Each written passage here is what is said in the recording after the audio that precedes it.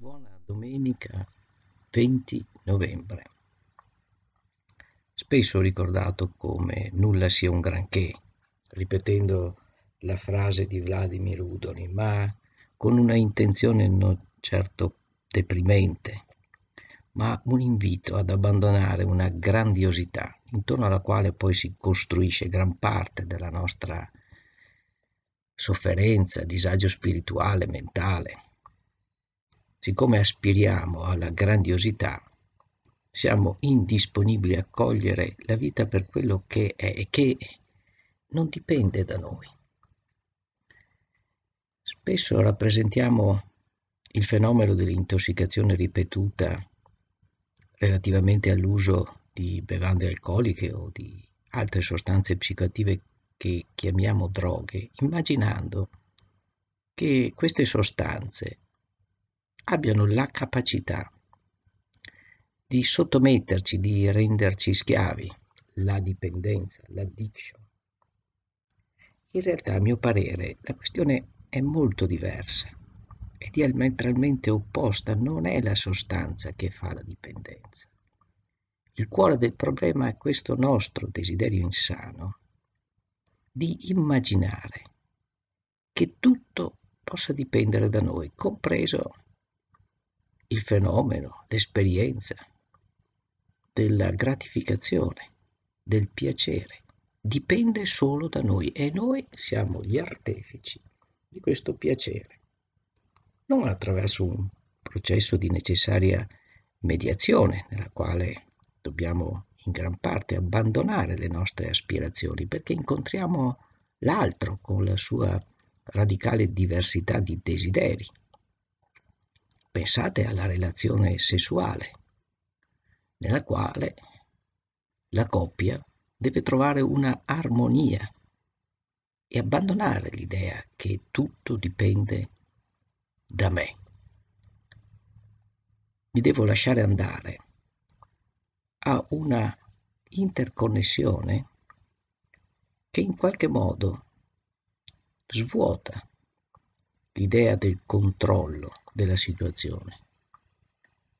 Ci permette di liberarci da questo insano bisogno di dominare la scena, di colpevolizzare l'altro o di autocolpevolizzarci perché non siamo stati capaci di sedurre sufficientemente, perché il tempo è trascorso, la noia l'abitudine hanno preso con pienezza il dominio sulla scena, i corpi invecchiano, le aspettative vengono costantemente tradite, prima ancora che avvenga quel passaggio oltre che si chiama tradimento. E tutto questo perché non riusciamo a immaginare una vita serena, vera e autentica all'insegna di quello che ieri ho ricordato, anzi dal, sì, ieri ho ricordato leggendo il Tao Te Ching, il non agire, agendo serenamente impotenti. Ecco il cuore della sofferenza mentale è proprio in questo criterio interpretativo che pone un egocentrismo crescente al centro dell'esistenza. Quella centralità di un ego il quale rimane costantemente insoddisfatto, che cerca di andare sopra le righe, che usa strumenti, sempre più raffinati e sofisticati per eh, dimostrare a se stesso che può far sì che tutto dipenda da lui. Allora che differenza c'è tra il grottesco tentativo dell'alcolista, del tossicodipendente, di controllare la situazione, di trasformarsi in un consumatore controllato, abile, intelligente, capace. E quanti invece in nome della male interpretata sobrietà, pensano di aver raggiunto l'equilibrio relativamente a questi momenti di gratificazione. Mi riferisco in particolare a quelli che insistono nell'immaginare di essere dei consumatori sociali moderati di bevande alcoliche che emblematicamente rappresentano questa modalità interpretativa della vita all'insegna di una grandiosità riferita nella fattispecie al controllo di una sostanza che non riconoscono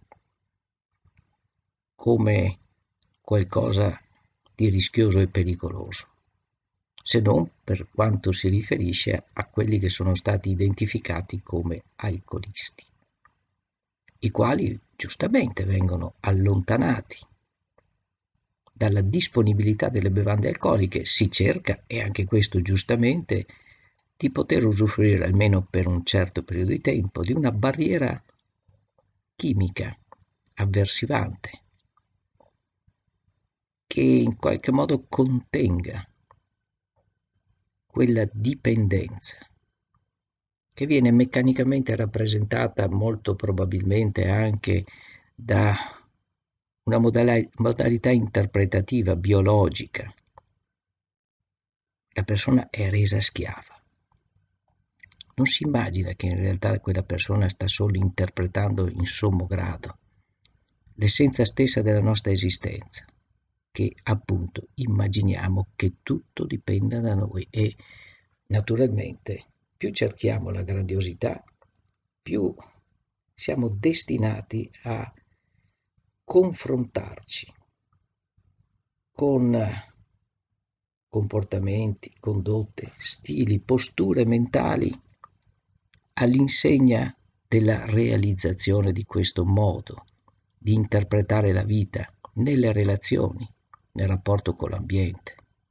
L'ambiente dipende da noi. Riusciamo a raccontarci anche le storielline ultimamente che questo cambiamento climatico in fondo sì è il nostro prodotto. Abbiamo messo mano all'equilibrio di questa nostra madre terra, ferendola profondamente, ma attenzione, siamo in pieno autunno e le temperature non sono così rigide come ci si poteva aspettare relativamente alla stagione il clima è ancora gradevole. Possiamo anche permetterci di non accendere i termosifoni e lo ricordava Donald Trump nei suoi deliri di onnipotenza. Naturalmente criticando quanti sollevavano il problema del disastro climatico. Poi in fondo diceva possiamo forse garantirci per opera nostra una gradevole primavera anziché il rigido inverno. Poco conta se i ghiacciai si sciolgono, se le foreste vengono abbattute. Questa opera umana alla fine porterà bene, ricchezza. Ecco, questo è il grande tema che contrappone il nulla e un granché come invito ad abbandonare questa idea folle che tutto dipenda da noi. Dobbiamo in primis porre attenzione alla nostra coscienza. Lì è la centralità di un sistema di cura che sia molto attento alle premesse, alla visione attraverso la quale noi interpretiamo la nostra esistenza su questa terra una visione che dovrebbe essere in grado di liberarci definitivamente da questo egocentrismo costantemente tentato dal concretizzare il delirio di onnipotenza. Questa nostra condizione umana è evidentemente fragile. Anche quando facciamo atti di prevenzione lo facciamo alla luce del fatto che crediamo che tutto dipenda da noi. Facciamo di tutto per garantirci una vita giustamente fa- salubre, un godimento assolutamente grandioso. E ci dimentichiamo che gran parte di ciò che accade non dipende da noi e quindi siamo invitati a una sobria prudenza, a una perseveranza, nel discernimento, nella ponderazione, nell'attenzione, ricostruendo i sentieri verso il piacere e verso la liberazione dall'angoscia di morte attra- tramite questa disposizione d'animo, percorrere la strada della vita con una disposizione d'animo che nulla è un granché. E questo svela tutta la nostra fragilità.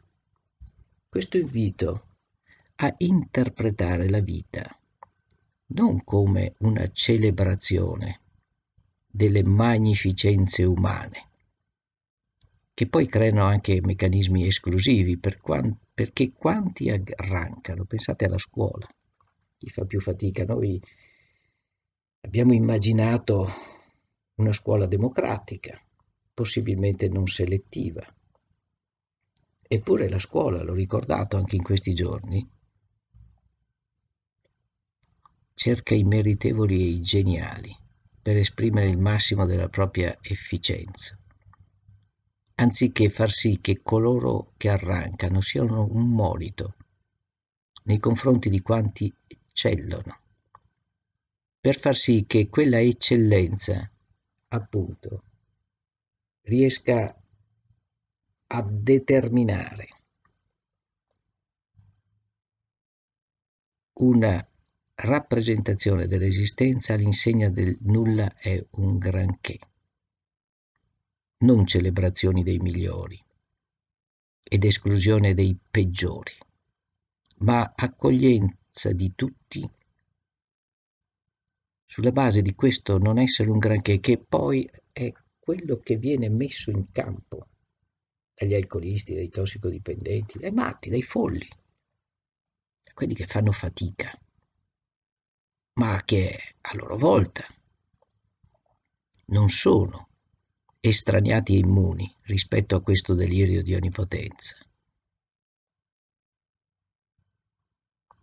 Non ci sono dei devianti esemplari che non alberghino in sé la stessa modalità interpretativa dell'esistenza di coloro i quali al massimo della normalità rappresentano i riusciti, i potenti della terra, tutto ci accomuna.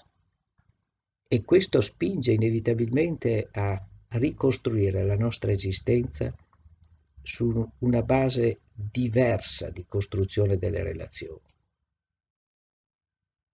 Una relazione affettiva, sensoriale, sessuale, all'insegna del nulla è un granché, significa armonizzare, lasciar essere senza immaginare che qualcosa dipenda da noi in maniera assoluta. Nulla dipende da noi, perché nulla è un granché. C'è una nostra responsabilità, nel senso che ciò che noi mettiamo in campo è questa coltivazione della prudenza e della moderazione, che facciamo molta fatica a immaginare perché le spinte culturali vanno in senso esattamente contrario. Pensate all'inserimento dei disabili in un contesto scolastico, perché non siano esclusi, in realtà poi alla fine vivono in un contesto selettivo e meritocratico, vivono un'esperienza tragica dell'esclusione. Dobbiamo radicalmente riformare tutto questo. Sono tanti i campi e gli argomenti che ci invitano a interpretare questo nulla è un granché, che non è foriero di depressione, anzi tutt'altro. È l'antitesi rispetto alle posture depressive psicotiche paranoiche, piene di paura, angosciate, dalla paura di perdere e di non riuscirci, invece di vivere serenamente, impotenti. Allora oggi voglio leggervi quello che propone la liturgia cattolica. Ieri era un testo sapienziale di un'altra prospettiva spirituale, Tao Te Ching. E quello che voglio sottolineare che oggi è la festa di nostro Signore Gesù Cristo, Re dell'universo. Allora immaginiamo come noi costruiamo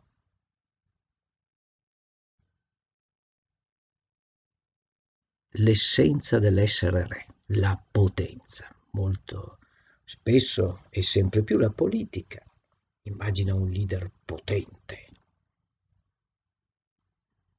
un po' ciarlatano, perché ha imparato bene a formulare discorsi, dei discorsi convincenti e soprattutto cinico, forte. Ma questa regalità che oggi la Chiesa Cattolica ci propone è di ben altra natura. Vi leggo il testo dal Vangelo secondo Luca. In quel tempo, dopo che ebbero crocifisso Gesù, il popolo stava a vedere, il popolo sta a vedere. Gesù è crocifisso, l'avevano seguito fino a qualche giorno prima, pendevano dalle sue labbra. O forse, molto probabilmente, si aspettavano che avrebbe generato un regno di grandiosità in cui tutti sarebbero stati salvati, sarebbero diventati ricchi, liberi. E la regalità però si esprime attraverso la crocifissione. I capi invece deridevano Gesù, dicendo, ecco, i capi sono rassicurati, coloro i quali sono aspiranti, leader, tiranni, anche democraticamente eletti, temevano quel messaggio che non è di debolezza, ma è di forza nel lasciarsi andare all'essenza della vita, riconoscere la nostra impotenza e a volte anche chiedere che ci sia concesso il perdono per i nostri peccati di onnipotenza. I capi deridevano. Ha salvato altri, salvi se stesso.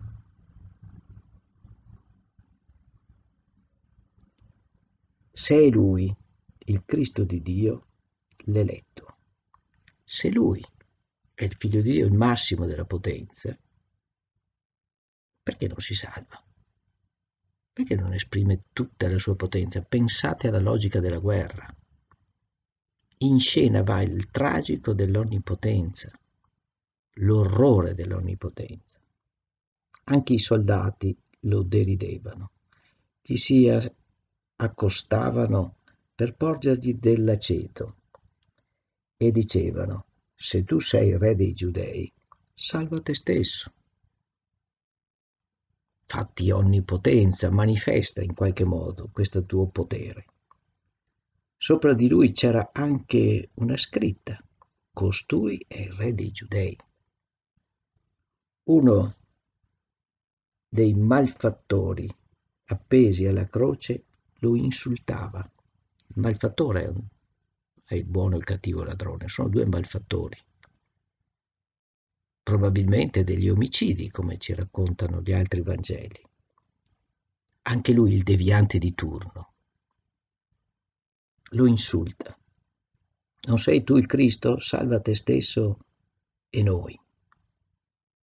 L'altro invece lo rimproverava dicendo, non hai alcun timore di Dio, tu che sei condannato alla stessa pena, noi giustamente, perché riceviamo quello che abbiamo meritato per le nostre azioni. Egli invece non ha fatto nulla di male e disse, Gesù, ricordati di me quando sarai nel tuo regno. Ricordati, fai memoria. La salvezza passa attraverso questa modalità incontra lo sguardo di, Ge- lo sguardo di Gesù. Ecco, questo è il punto fondamentale della lettura che oggi facciamo di questo nostro Signore Gesù Cristo, Re dell'universo. Non è espressione di un potentato mondano, come molto integralismo immagino possa essere. Vado al potere, faccio le leggi a mia immagine e somiglianza e penso che rappresenta appunto nostro Signore Re dell'universo. Ma quale universo? Quello tuo. Gli rispose, in verità io ti dico oggi con me sarai nel paradiso.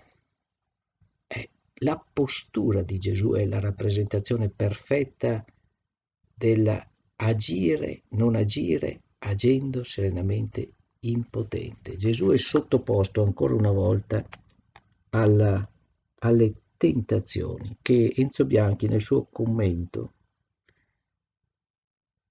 identifica nella tentazione del mondo religioso, il quale vuole la testimonianza della potenza, che non coltiva l'umiltà dell'impotenza. Il popolo, i suoi capi, i suoi soldati, quel popolo che continua ad aspettare il Salvatore. Guardate che questo accade sempre nella politica. Eh. Speriamo che arrivi il leader, investiamo su quel leader anche se non condivido le sue idee, speriamo che faccia qualcosa di buono. Affidiamo attraverso il nostro voto le sorti dell'umanità a una singola persona che eleggiamo a re. In fondo, la tirannia è una vocazione inconscia di gran parte dell'umanità, perché appunto non sappiamo interpretare correttamente questo non agire agendo serenamente impotenti. Forse vi farà un po' sorridere tutto questo. Poi la terza tentazione è rappresentata appunto dai malfattori, che oggi chiameremo i devianti, i quali a loro volta contengono in sé una contraddizione enorme, che aspira anche attraverso le malefatte alla liberazione della potenzialità della grandiosità. I malfattori aspirano alla ricchezza quanto lo fanno gli abili giocatori di borsa quanto facciamo tutti noi quando ci mettiamo all'opera, cerchiamo gratificazione, riconoscimento. Non siamo capaci semplicemente di lasciarci andare alla consapevolezza che non dipende da noi. Il nostro essere dipendenti è semplicemente espressione di una nostra abitudine a immaginare che tutto dipenda da noi. La dipendenza sta tutto in questo dipendere, che noi interpretiamo come qualcosa di passivo. In realtà è qualcosa di profondamente attivo. E in fondo l'esplosione epidemiologica degli stati di dipendenza, ludopatie, tossicodipendenza, alcolismo, egocentrismo, che è alla base della sofferenza mentale, anche della malattia mentale, che indubbiamente poi ha, delle modalità espressive biologiche. Ebbene, tutto questo nasce dal fatto che abbiamo un'idea bislacca dell'esistenza, quello che tutto dipenda da noi, e non siamo capaci di immaginare che la vera strada verso una crescita maturazione ecologica è quella all'insegna della impotenza, di quella regalità che si dispone di fronte ai deliri di onnipotenza con quella postura che Gesù manifesta nella croce. Non parla, dice poche parole. Padre, perdona loro perché non sanno quello che fanno. Non giudica, accoglie, è un'azione concreta che si esprime nel non agire, non cade nella trappola della tentazione, quella che fu l'incipit del suo cammino di diffusione del messaggio di salvezza, la tentazione nel deserto, nel quale il demonio lo mette alla prova attraverso le infinite rappresentazioni del possedere. Il possedere nasce proprio da questo insano desiderio di essere onnipotenti. Il demonio gli offre l'opportunità della potenza. Ma Gesù lo manda via, reincontra nell'ora suprema ed estrema, in queste tentazioni dei capi religiosi, del popolo, della politica del tempo, anche della devianza, tutti sollecitano all'onnipotenza e credo che chi ha il compito di prendersi cura di tutto questo, perché ha deciso in qualche maniera di farlo e non perché dipende da lui, perché ha posto attenzione all'etica, alla responsabilità, al dovuto nei confronti del prossimo indipendentemente dalla propria volontà. L'etica trascende la volontà, ti lascia andare a un dovuto nei confronti dell'altro. E quindi la giornata di oggi sia all'insegna di questo agire non agendo serenamente impotenti, con una postura esistenziale caratterizzata da grande sobrietà, da ponderazione, discernimento, umiltà. Questo non significa non vivere nella gioia e nella bellezza, tutt'altro. Credo che la serenità che possiamo trovare nell'agire seriamente impotenti, non agendo, che significa semplicemente non porre mano a ciò che ci circonda con desiderio di forgiare l'altro a nostra immagine e somiglianza. Perdiamo tanto di quel tempo intorno a questo, sia che si tratti di relazioni affettive, sia che si tratti anche dell'esercizio di una funzione professionale finalizzata alla cura. Dobbiamo veramente tornare alle radici della nostra visione, coltivare la visione ecologico-sociale antropo-spirituale proprio alla luce anche di questo insegnamento che risale a duemila anni fa. E questo non significa aderire necessariamente a una fede religiosa, è un discorso aperto per credenti e non credenti. Cerchiamo di interpretare in termini antropologici anche la saggezza e la ricchezza dei testi sacri. E questo è un invito che io faccio, naturalmente senza nessuna intenzione confessionale, tutt'altro. Ma questo non significa cercare di coltivare la dimensione spirituale a partire dalle contraddizioni presenti nel nostro essere umani, tentati costantemente dall'onnipotenza e invitati a percorrere una strada del lasciarci andare a ciò che accade con senso di responsabilità. Buona giornata a tutti.